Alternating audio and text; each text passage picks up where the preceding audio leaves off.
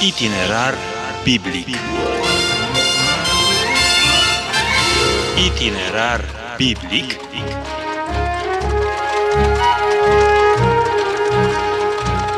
Itinerar biblic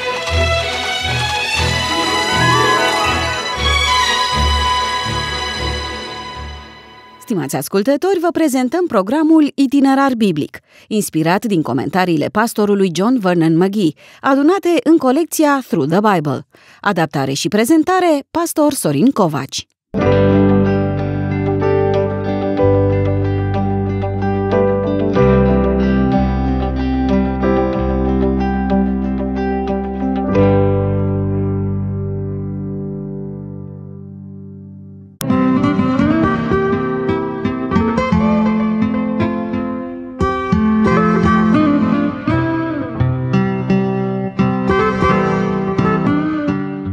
Dragi ascultători, suntem acum la capitolul 8 din Evanghelia după Marcu.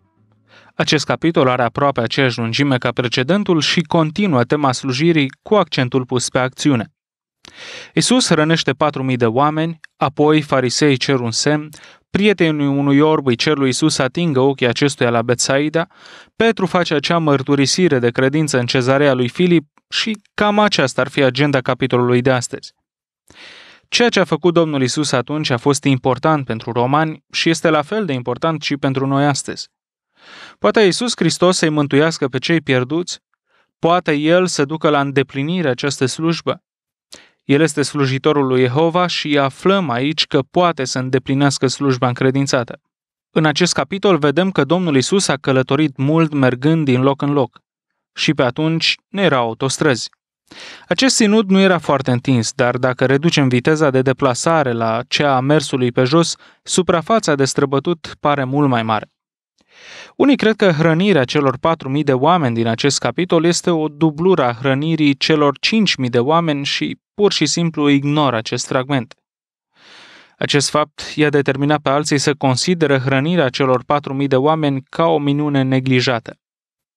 Ajuns la acest fragment, Criticul scripturii va încerca, în stilul său obișnuit, să dezbrace Biblia de orice element supranatural. Explicația lui va fi că această minune a fost inclusă după hrănirea celor 5.000 pentru a întări pretenția apostolilor conform căreia Isus a fost un făcător de minuni. Dacă această explicație ar fi fost adevărată, ar fi trebuit să avem un număr de 10.000 de oameni hrăniți a doua oară, nu 4.000. Pentru că atunci când inventează, de obicei, omul exagerează. Dar aici nu avem nicio exagerare. După cum vedeți, numărul celor hrăniți a două oară este mai mic. Acum, cele două minuni cu hrănirea mulțimilor au câteva caracteristici similare. De exemplu, Isus hrănește oamenii cu miile, odată 5.000, a doua oară 4.000. Dar există cel puțin șapte deosebiri între aceste două incidente similare. Prima deosebire. În primul caz, mulțimile erau cu Isus de o zi. În cel de-al doilea, erau cu el de trei zile. A doua deosebire. Prima dată, ucenicilor li s-a spus să meargă și să vadă ce provizii au la dispoziție. În cel de-al doilea caz, ei au avut informația pregătită înainte de a fi întrebați. A treia deosebire. Când au fost răniți cei cinci mii, au fost folosite cinci pâini și doi pești în timp ce pentru cei patru mii au fost nevoie de șapte pâini și câțiva pești. Cea de-a patra deosebire. Prima dată, când întâmplarea a avut loc în preajma Paștelui, mulțimii s-a spus să se așeze în grupuri pe iarba verde. A doua oară, mult mai târziu, un an, iarba verde era arsă de soarele oriental și oamenilor li s-a poruncit să se așeze pe pământ. A cincea deosebire. În primul caz, Domnul Isus a rostit binecuvântarea, apoi a frânt pâinile, iar în cel de-al doilea caz a luat cele șapte pâini și după ce a mulțumit lui Dumnezeu le-a frânt. După aceea a luat peștii, i-a binecuvântat și a poruncit să fie împărțiți. Așa se deosebire. După ce au fost hrăniți cei cinci mii, au rămas 12 coșuri cu rămășițe, iar când au fost hrăniți cei patru mii, au rămas șapte coșuri. A șaptea deosebire.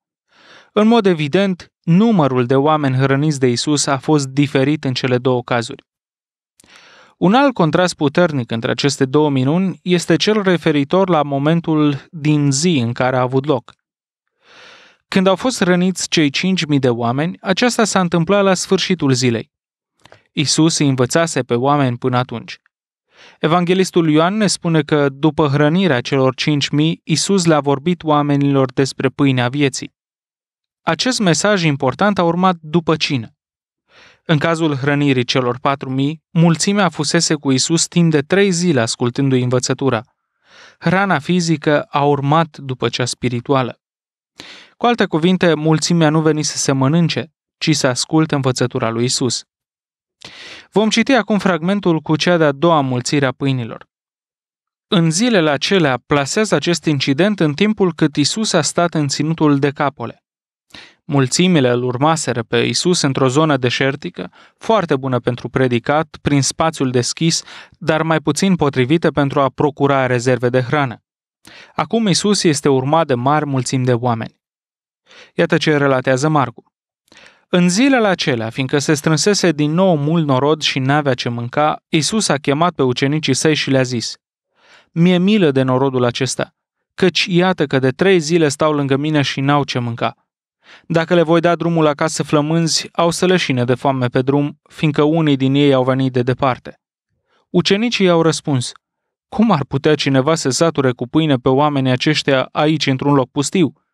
Câte pâine aveți? i-a întrebat Isus. Șapte, i-au răspuns ei. Atunci a poruncit norodului să șadă pe pământ. A luat cele șapte pâini și după ce a mulțumit lui Dumnezeu le-a frânt și le-a dat ucenicilor săi ca să le împartă și ei le-au împărțit norodului. Întâlnim aici un lucru foarte interesant. Se pare că ucenicii uitaseră de minunea cu hrănirea celor cinci mii. Cred că cei mai mulți dintre noi avem același fel de experiență. Dumnezeu ne face un mare bine și noi uităm. Când apare o nouă situație de urgență, ne purtăm ca niște neofiți, adică totul este absolut nou pentru noi.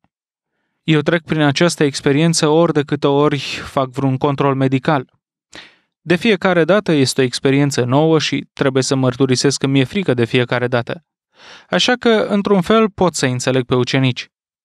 Totuși, ei au făcut un fel de inventar al rezervelor mulțimii pentru că știau exact câte pâine aveau. Poate că se așteptau ca Isus să repete minunea cu cei cinci mii. De data aceasta erau mai multe pâini pentru un număr mai mic de oameni, dar se putea spune același lucru. Ce sunt acestea pentru atât de mulți oameni? Cine avea pâinea de data aceasta? Nu știm. O persoană necunoscută. Oricine ar fi fost, își va primi într-o zi răsplata. Acum oamenilor li se spune să stea pe pământ în timp ce, așa cum am spus, în cazul hrănirii celor 5.000, mulțimile au stat pe iarba verde. Câți pești au avut de data aceasta? Ni se spune doar că au avut câțiva peștișori. Numărul nu are nicio importanță. Domnul Isus nu numără peștii. Dacă Dumnezeu este la lucru, va rămâne întotdeauna ceva în plus. Fie că hrănește 5.000, fie doar 4.000, Isus le dă oamenilor o cină adevărată. Dacă am adăuga o femeie și un copil pentru fiecare bărbat din cei 4.000, am ajunge la numărul total al celor hrăniți, care se ridica probabil la aproape 12.000. Iată deci ce mare mulțime de oameni au găsit hrană dată de Domnul Isus. Acum Domnul se duce într-un nou ținut pentru a-și continua lucrarea. Versetul 10. Isus a intrat îndată în corabie cu ucenicii săi și a venit în părțile Dalmanutiei. Nu se poate stabili cu precizie unde se afla Dalmanuta. Se pare că era undeva pe țărmul Mării Galilei și ucenicii au trecut marea ca să ajungă acolo, ceea ce înseamnă că au venit pe țărmul de vest. Ei au mers cu barca pe mare și locul în care s-au oprit era pe coasta de nord-vest. Oponenții plini de ura ai Domnului Isus erau însă pe urmele lui. Fariseii au venit deodată și au început o ceartă de vorbe cu Isus și ca să-l pună la încercare, i-au cerut un semn din cer. Isus a suspinat adânc în duhul său și a zis, Pentru ce cere neamul acesta un semn? Adevărat vă spun că neamul acestuia nu îi se va da deloc un semn. Apoi a lăsat și a intrat iarăși în corabie ca să treacă de cealaltă parte. Ucenicii uitaseră să ia pâini. Cu ei în corabie n-aveau decât o pâine. Isus le dădea în grijă și le zicea, luați seama să vă păziți bine de aluatul fariseilor și de aluatul lui Rod. În scriptură, aluatul reprezintă învățătura greșită sau rea. Nu se referă niciodată la Evanghelie. Unul din lucrurile eronate care circulă în prezent este că aluatul reprezintă Evanghelia, în pilda cu femeia care l-a ascuns în trei măsuri de făină de grâu din Matei, capitolul 13, versetul 33.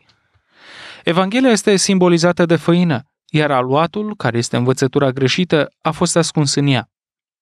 Este procesul prin care faci ca un lucru să aibă gust bun pentru omul firesc. De fapt, ce este liberalismul, de exemplu? Teologia liberală a luat ființă atunci când cei de la Amvon au vrut să le facă pe plac membrilor nemântuiți ai bisericii. Și astăzi întâlnim mulți oameni care încearcă să facă pe placul congregației, chiar și când este vorba de oameni nemântuiți. Și aceasta este combinația dintre învățăturile false și adevărul Evangheliei. Poate că ar fi bine să spun că acest aluat este de fapt aluat dospit, folosit în loc de drojdie la prepararea pâinii. Alte traduceri redau un loc de aluat plămădeală, care este un amestec de făină, apă și drojdie folosit la fermentarea aluatului. Ei bine, unii oameni nu vor accepta decât pâinea făcută cu drojdie, pentru că aceasta are gustul mai bun. Dar această drojdie reprezintă învățătura greșită cu care este combinată Evanghelia pentru a-l mulțumi pe omul firesc. Isus îi avertizează pe ucenici cu privire la luatul sau plămădeala fariseilor și a lui Irod. Apoi el le spune, aveți ochi și nu vedeți? Aveți urechi și nu auziți? Și nu vă aduceți aminte deloc? De lungul timpului am descoperit un lucru uimitor. Sunt persoane despre care cred că au ajuns să cunoască adevărul spiritual, dar cărora le-a scăpat cu totul esențialul. Ei nu înțeleg despre ce este vorba și nu poți decât să te întrebi unde or fi trăit până acum. Sunt oameni care au studiat Biblia an la rând și totuși acum se află în această stare. Ei sunt la fel ca apostolii aceștia care aveau urechi, dar nu auzeau. Când am frânt cele cinci pâini, spune Domnul Isus Hristos, la cei cinci mii de bărbați, câte coșuri pline cu fărâmituri ați ridicat? 12 au răspuns ei. Și când am frânt cele șapte pâini la cei patru mii de bărbați, câte coșnițe pline cu fărâmituri ați ridicat? Șapte i-au răspuns ei.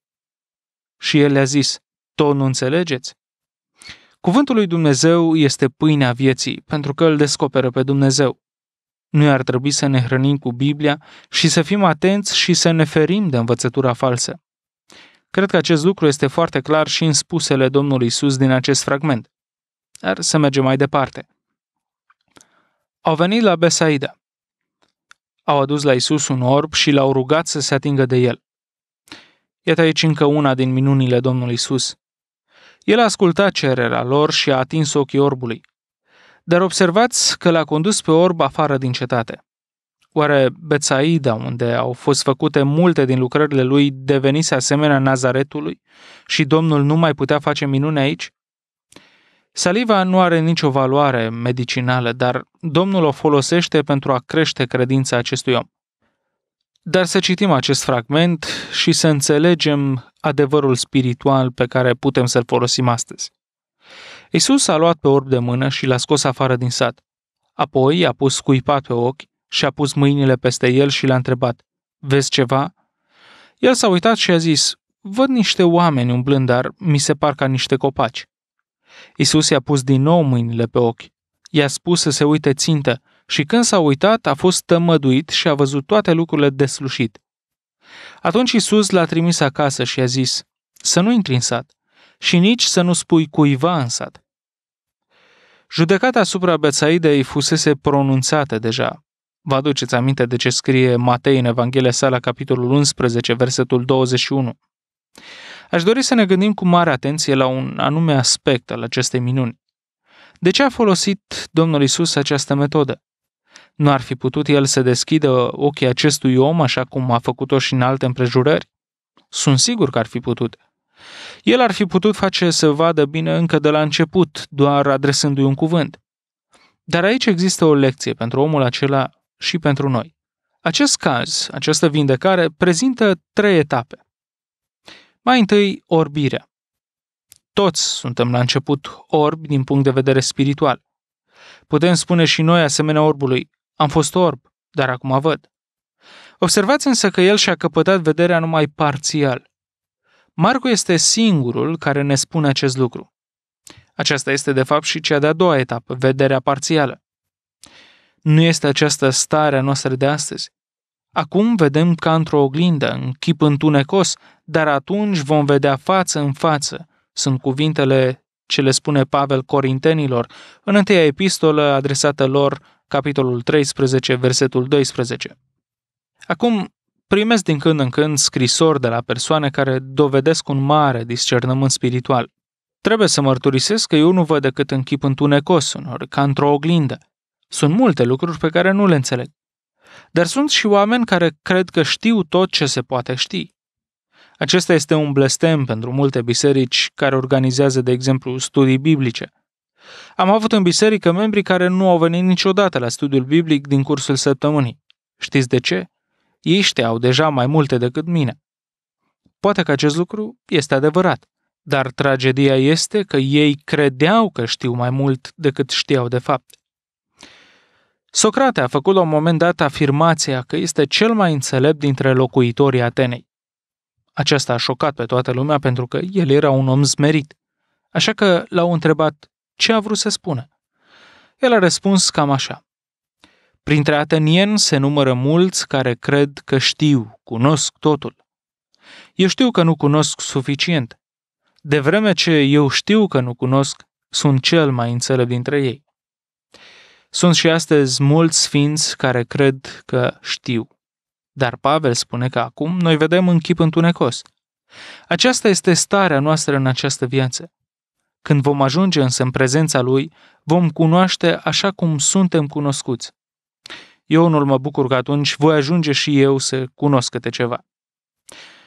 Cea de-a treia stare este vederea perfectă. Noi vom vedea în acest fel numai în prezența lui Isus. Observați că atunci când a terminat cu el, acest om era vindecat pe deplin. Ați remarcat vreodată ce diferențe sunt între metodele Domnului Isus când este vorba de deschiderea ochilor celor orbi? Aici, la Besaida, Domnul a atins ochii orbului. Pe orbul Bartimeu, Isus nici măcar nu l-a atins, ci l-a vindecat de la distanță. Credința i-a deschis ochii acestui om. Celui orb din naștere, Isus i-a spus să se scalde în scăldătoarea siloamului. Trei cazuri și trei metode diferite. Ce contează însă cu adevărat aflăm în versetul 27. Isus a plecat cu ucenicii săi în satele cezarei lui Filip. Pe drum le-a pus următoarea întrebare. Cine zic oamenii că sunt eu? Acesta este lucrul important. Cine este Isus? Domnul Isus voia să știe ce cred oamenii despre el. Aceasta este întrebarea cheie. Cine crezi tu că este Isus? Dacă vreți să fiți una cu El, dacă vreți să aveți părtășie cu El, trebuie să intrați într-o relație corectă cu Domnul Isus. Dacă vă uitați pe hartă, veți găsi trei localități cu numele de Cezarea. Cezarea lui Filip este localizată la nord de Marea Galilei. Domnul Isus se află în nord acum, de unde se va întoarce și își va începe drumul către Ierusalim, spre cruce. Dar să vedem diferitele răspunsuri pe care le dau oameni cu privire la întrebarea pusă de Domnul Isus. Ei au răspuns, Ioan Botezătorul, alții Ilie, alții unul din proroci. Era multă confuzie printre oameni cu privire la persoana lui. Toți se gândeau la el ca fiind o persoană însemnată, dar vedeau în el mai puțin decât era cu adevărat. Dar Domnul Isus îi întreabă și pe ucenici. Dar voi, i-a întrebat el, Cine ziceți că sunt eu? Tu ești Hristosul, i-a răspuns Petru. Aceasta era proba lor finală pentru prima fază a lucrării lui. Acum se aflau la șase luni distanță de răstignire. Petru spune aici cel mai frumos lucru din câte a spus el vreodată. El a vorbit în numele grupului. Marcu redă numai un fragment al mărturisirii. Hristos nu este un nume. Isus este numele. Hristos este un titlu. În ebraică înseamnă Mesia sau unsul. Acest titlu cuprinde toată bogăția de semnificație a Vechiului Testament. Vă rog, comparați această afirmație cu următoarele versete din Vechiul Testament. Versetul 2, capitolul 5 din Cartea Mica, sau Cartea Isaia, capitolul 7, versetul 14, sau versetul 2 din Psalmul 2, sau Psalmul 45, versetele 6 și 7, sau versetul 1 din capitolul 3 al cărții Maleahi. Acestea sunt doar câteva din referințele Vechiului Testament. Isus a venit pentru a-L revela pe Dumnezeu. Isus le-a poruncit cu tărie să nu spună nimănui aceasta despre El. De ce le-a dat Isus această poruncă neobișnuită? Ucenicii trebuia să aștepte până la întregirea istoriei Evangheliei. Observați ce spune versetul următor. Atunci a început să învețe că fiul omului trebuie să pătimească mult, să fie tăgăduit de bătrâni, de preoții cei mai de seamă și de cărturari, să fie omorât și după trei zile să învieze. Isus a vorbit despre persoana sa numai în legătură cu lucrarea lui de răscumpărare. Mântuirea depinde de cine este el și de ceea ce a făcut. Acum începe ultima fază a pregătirii ucenicilor. În cezarea lui Filip le-a vorbit Isus pentru prima dată despre cruce, dar ucenicii nu erau pregătiți pentru așa ceva. Le spunea lucrul acestea pe față. Petru însă l-a luat deoparte și a început să-l mustre. Dar Isus s-a întors și s-a uitat la ucenicii săi, a mustrat pe Petru și a zis, Înapoi a mea, satano, fiindcă tu nu te gândești la lucrurile lui Dumnezeu, ci la lucrurile oamenilor. Dacă Petru a spus înainte un lucru bun, de data aceasta a spus un lucru foarte rău. Acesta este și motivul pentru care reacția Domnului Isus este atât de categorică. Isus atribuie această afirmație lui Satan, pentru că Satan este cel care neagă valoarea morții Domnului nostru. Dar iată că Domnul Isus clarifică lucrurile aici. Apoi a chemat la el norodul împreună cu ucenicii săi și le-a zis, Dacă voiește cineva să vină după mine, să se lepede de sine însuși, să-și ia crucea și să mă urmeze. Căci oricine va vrea să-și scape viața o va pierde, dar oricine își va pierde viața din pricina mea și din pricina Evangheliei o va mântui. Și ce folosește unui om să câștige toată lumea dacă își pierde sufletul? Sau ce va da un om în schimb pentru sufletul său? Pentru că de oricine se va rușina de mine și de cuvintele mele în acest neam prea curvar și păcătos, se va rușina și fiul omului când va veni în slava tatălui său împreună cu sfinții îngeri. Domnul Isus nu pune aici o condiție pentru mântuire, ci arată care trebuie să fie poziția celui mântuit. Despre așa ceva vorbește el aici, pentru că el spune, oricine se va rușina de mine. Dragul meu, tu ce fel de creștin ești? Ești un creștin care îl recunoaște pe Isus ca Domn, îi slujește, îi aduce slavă? Dragi prieteni, răspunsul la această întrebare este foarte important pentru vremea în care trăim. Să ne cercetăm, dar foarte bine. Am uitat ce e puterea. Nu mai suntem cum am fost. Nimeni nu mai e la cârmă. Alergăm fără folos.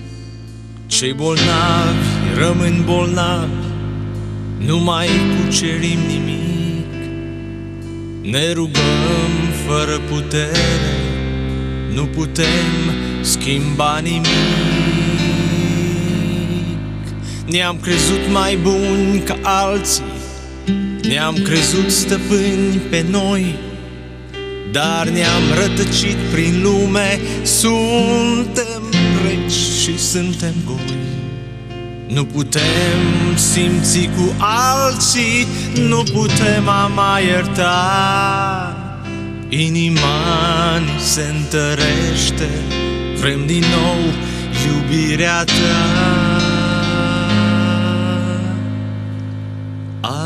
Atinge-ne, Iisus, vrem să ne deșteptăm.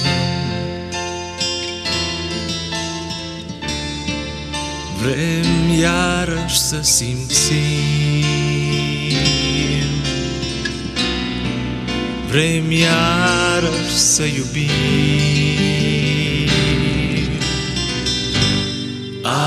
Atinge-ne, Iisus. Revarsă arul tău. Vindecă orice trup Suntem poporul tău atinge-ne din nou Ați ascultat.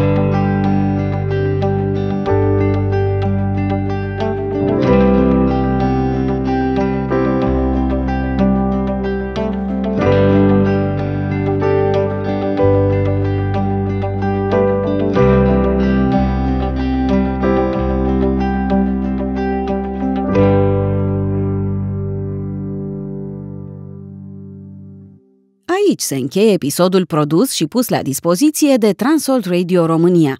Vă anunțăm că suntem interesați de efectele sale în viața dumneavoastră. De asemenea, că puteți solicita copii ale episoadelor în format MP3 sau materialele scrise în format electronic. Contactați-ne la telefonul 021 346 2468 sau prin e-mail la adresa radioarond.twr.ro. Vă mulțumim!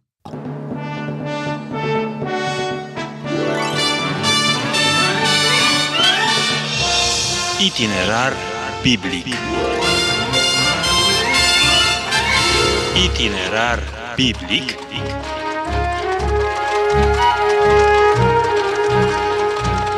Itinerar biblic.